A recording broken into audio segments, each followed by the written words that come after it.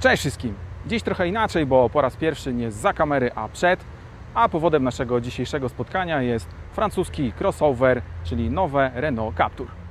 Jeśli jesteście zainteresowani takim właśnie samochodem, zapraszam na test.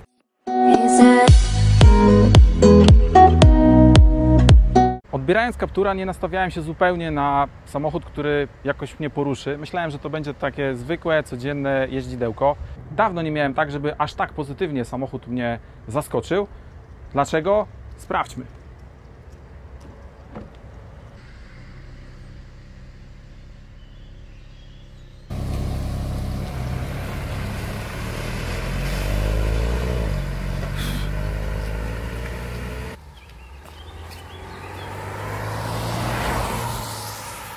Kapturem udało mi się pojeździć przez ponad tydzień. Wyskoczyłem w kilka dalszych tras, sam z rodziną, pojeździłem po mieście. Przejechałem dosyć sporo kilometrów, także myślę, że miałem okazję dosyć dobrze poznać ten model, większość jego wad i zalet. Postaram się zatem dzisiaj z Wami nimi podzielić. Na początek może takie podstawowe informacje, jakim autem w ogóle jeżdżę. No jest to auto prasowe, czyli jak to zwykle bywa, najwyższa wersja wyposażeniowa. Silnik na szczęście czterocylindrowy o mocy 130 koni, 1.3 i automatyczna skrzynia biegów. Bardzo fajny zestaw napędowy. Muszę powiedzieć, że po tygodniu jazdy chyba optymalna jednostka, chociaż też od razu powiem, że nie miałem okazji jeździć trzycylindrowym, stukonnym silnikiem.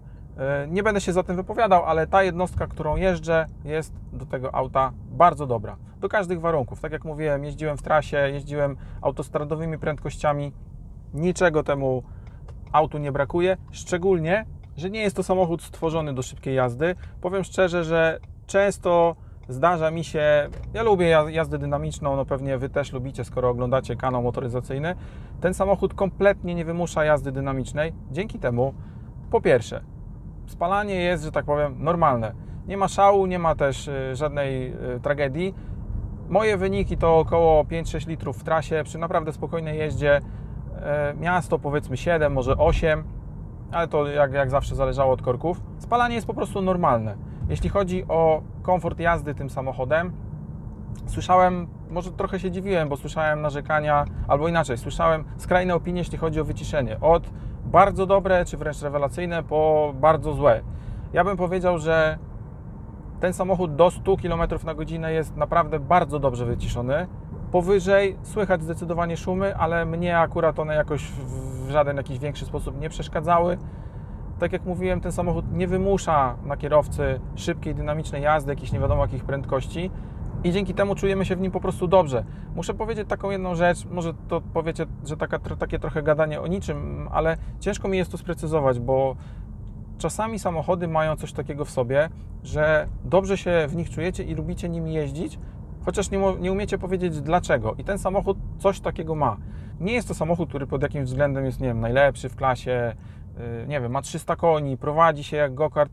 Tego nie ma, a, a ja tak naprawdę za każdym razem, jak do niego wsiadam, to się cieszę. Lubię nim po prostu jeździć, mimo że ani nie mogę sobie powiedzieć o sobie, że to jest jakaś moja marka, w cudzysłowie, albo że uwielbiam tę klasę samochodów, bo crossovery to wręcz zupełnie nie jest moja bajka, a mimo to podoba mi się on po prostu i cieszę się na każdą jazdę tym autem. To jest coś niesprecyzowanego, tak mi się wydaje. Ma to na przykład Mazda trójka, która no pod, pod, pod, wieloma względami myślę, że może służyć za jakiś wzór, więc tam jest bardziej tak konkretnie, ale też ma w sobie taki faktor X czy faktor wow, jak ja to mówię, i Captur też to ma, mimo że ja się tego kompletnie po nim nie spodziewałem. Tak jak mówię, odbierałem ten samochód na zasadzie, że no, fajną rzeczą w nim jest wygląd i tyle. Nie, ten samochód ma po prostu coś w sobie.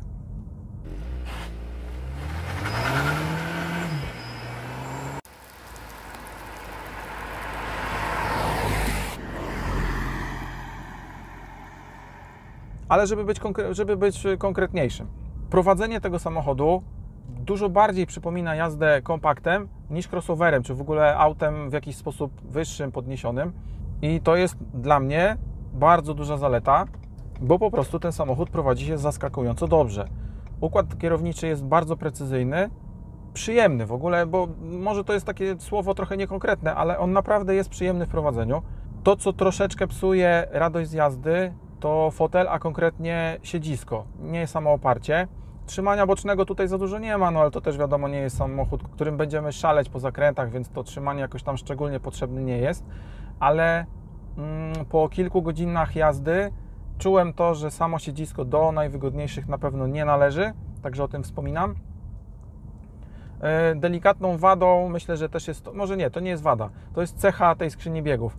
Macie coś takiego, jak oglądaliście inne testy, ja to potwierdzę, że manewrujecie na parkingu i to w zasadzie chodzi właśnie o te sytuacje, kiedy sobie przód, tył, przód, tył przerzucamy.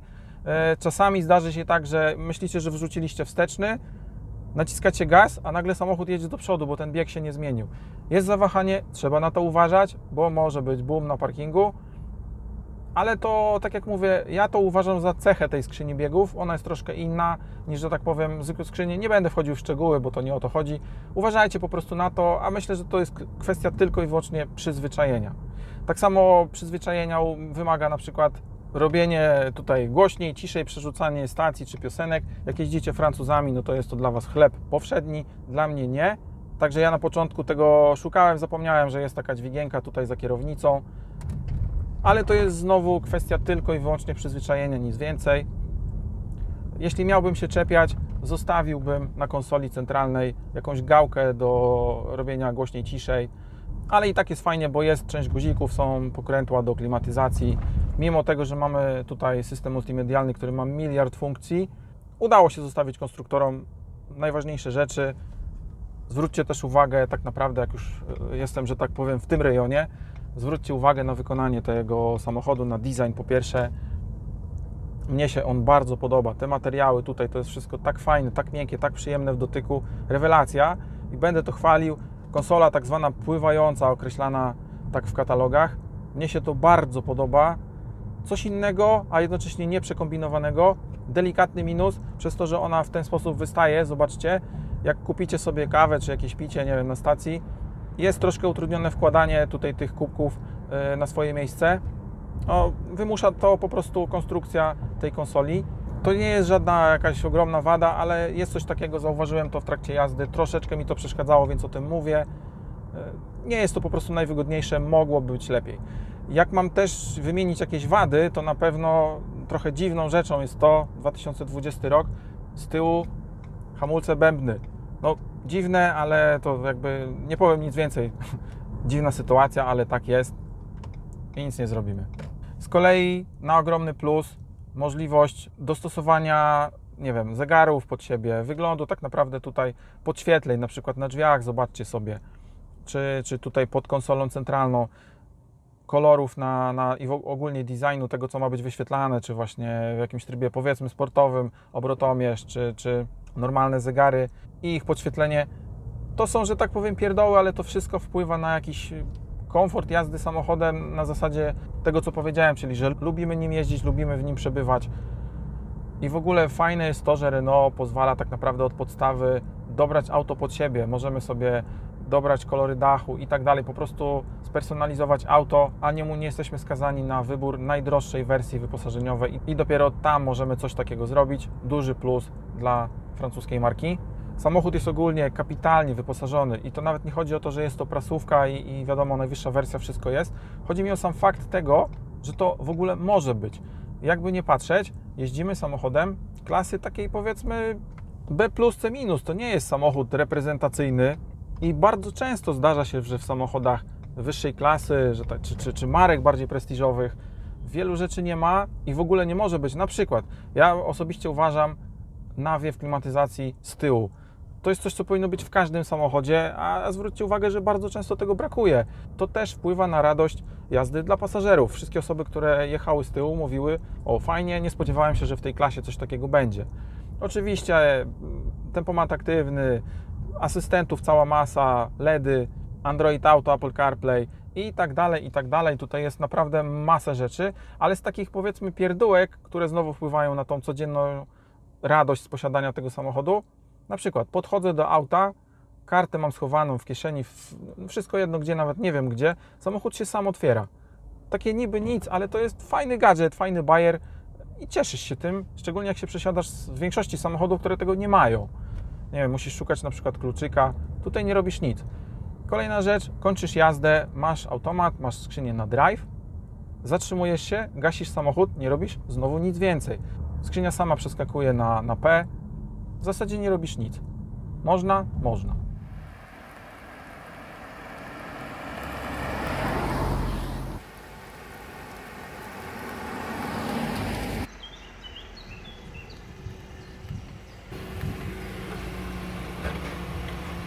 Czepię się też czegoś, bo yy, jak już mówię o skrzyni, też uważam, że jak mamy automat, to dzisiaj czymś niezbędnym powinien być auto hold.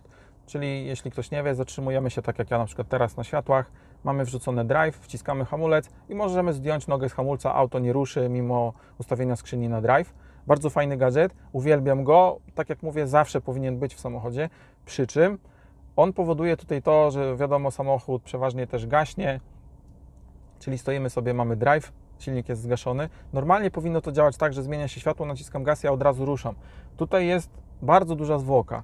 E, to jest coś, do czego się nie przyzwyczaiłem przez cały okres użytkowania auta, a w zasadzie miałem coś takiego, że wiedziałem, że to będzie, chciałem gdzieś szybciej ruszyć, gdzieś się wcisnąć i tak dalej, no wiadomo, różnie bywa. Musiałem to jakby troszkę zaplanować wcześniej, czy wręcz wiedziałem, że po zmianie światła mam sekundę, żeby szybko nacisnąć gaz, bo samochód potrzebuje tej chwili, żeby się uruchomić i żeby w ogóle ruszyć. Wręcz powiem szczerze, że doszło do tego, że mimo, że tę funkcję bardzo lubię, przestałem z niej korzystać. Wyłączyłem auto hold, bo mnie to czasami denerwowało. Powinno i mogłoby to działać sporo lepiej. Ale co ciekawe, ja w zasadzie wymieniłem Wam już wszystkie wady, które zaobserwowałem w tym samochodzie. O, może jeszcze jedna akurat zwróciłem na to teraz uwagę, bo było takie światło. Jest grzana przednia szyba i to, co też w niektórych wcześniej testowanych egzemplarzach widać te, wiem, powiedzmy druciki, które są w szybie od podgrzewania. Czyli znowu coś fajnego mamy, czyli podgrzewaną szybę, ale troszeczkę za bardzo to widać. Oczywiście dodam, też ktoś ostatnio do mnie o tym pisał i w 100% się zgadzam, to jest coś, do czego się prędzej czy później, raczej prędzej, przyzwyczajimy i przestaniemy zwracać po prostu na to uwagę. Także nie jest to wielki minus, czy w ogóle wręcz żaden minus. Jest coś takiego, nie zdziwcie się, jak wsiądziecie, jak Wam to będzie na początku przeszkadzało, to stawiam 20 zł, że dosyć szybko się do tego przyzwyczajicie. Ten ekran, który widzicie na konsoli centralnej też no jest no w zasadzie ogromny. Działa bardzo dobrze. Jak dla mnie wystarczająco szybko. Po naciśnięciu tego, co chcemy, też e, jakby tutaj nie ma żadnego problemu, bo czasami wiadomo, to się takie systemy potrafią się czy zawieszać, czy po prostu działać zbyt wolno. Jeśli chodzi o ten konkretny, ja mogę zdecydowanie pochwalić. E, muszę też wspomnieć o jeszcze jednej rzeczy, coś co też często robię kapitalny system audio. Naprawdę rewelacja. Mamy tutaj Audio Bose, też jedna z moich ulubionych firm, co jakby to, totalnie o niczym świadczy, bo spotkałem się w wielu samochodach z bardzo dobrym z nazwy systemem audio, grającym mocno przeciętnie, czasami słabo, czasami średnio. Ten gra kapitalnie. Nie jest to poziom mojego, że tak powiem, ulubionego systemu audio w autach, no powiedzmy nie premium, czyli Mazda trójka, czy Mazda CX-30, bo to jest podobne. Tam ja jestem zakochany w tym systemie, ale naprawdę tutaj do tego stopnia czuć, że tak powiem, przestronność dźwięku, że raz miałem taką sytuację, że jechałem samochodem i nagle zacząłem gdzieś na bok, nie inaczej, stałem w korku, zacząłem zjeżdżać na bok, bo myślałem, że jedzie karetka. Tak patrzę, czemu inni nie zjeżdżają. Okazało się, że to było jakiś utwór, który się zmienił, ja nie zwróciłem uwagi i zaczynał się od tego, że był jakiś sygnał karetki czy policji, no wszystko jedno. I, i trochę się oszukałem, ale to też świadczy właśnie o jakości tego systemu, że dałem się nabrać na coś takiego. Jest kapitalny, szczególnie z uwzględnieniem y, y, odczucia z dźwięku przestrzennego. Naprawdę rewelacja. Bardzo mocną stroną tego samochodu jest też jego bagażnik. 422 litry. Mamy podwójną podłogę. Ciekawostka, możemy przesunąć tylną kanapę i po przesunięciu jej maksymalnie do przodu pojemność wzrasta do około 530 litrów. To już jest naprawdę wynik dużo wyższej klasy samochodów.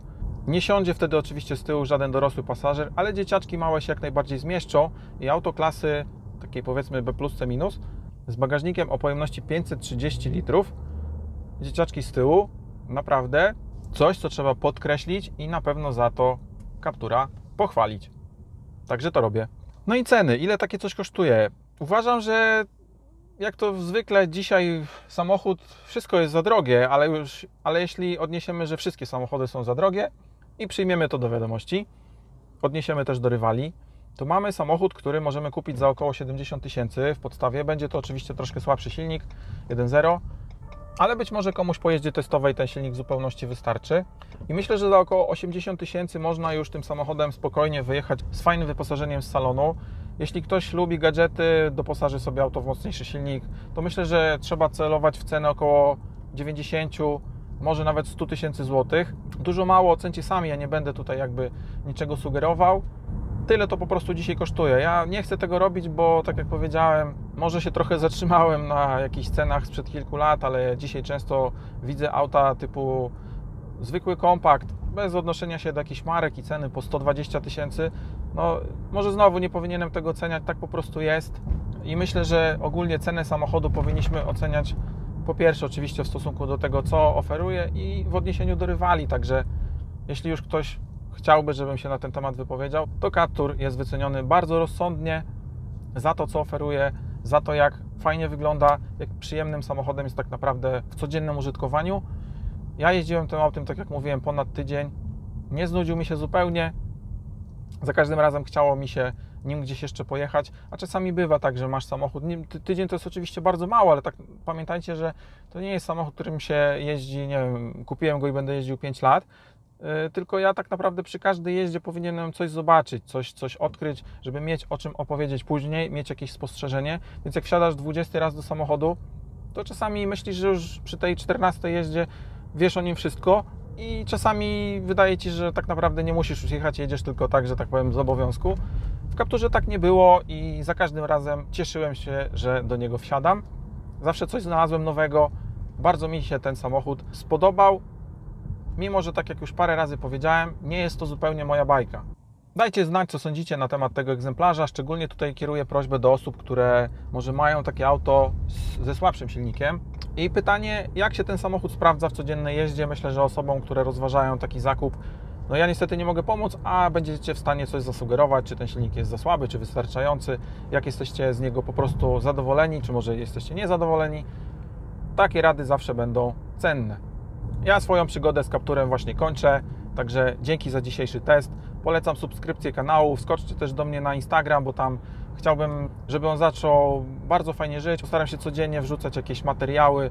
Jeśli chcecie być na bieżąco, to też obserwujcie ten profil Instagram Automotovlog.